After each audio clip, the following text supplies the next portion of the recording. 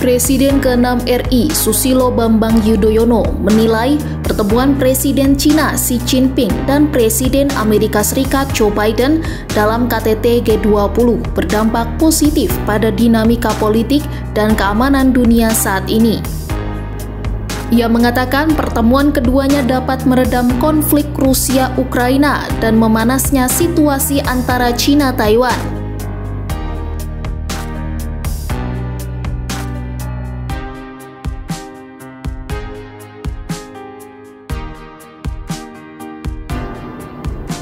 Menurut dia, Xi Jinping dan Joe Biden bisa mengatakan secara langsung ketidaksetujuannya pada kebijakan masing-masing negara, khususnya terkait konflik China dan Taiwan.